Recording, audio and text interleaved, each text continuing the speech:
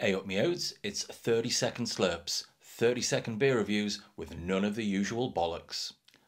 Aslin Bob, a 6.5% India Pale Ale. Let's get this in the glass. Glass full, saved a couple of seconds there. Let's get it slurped.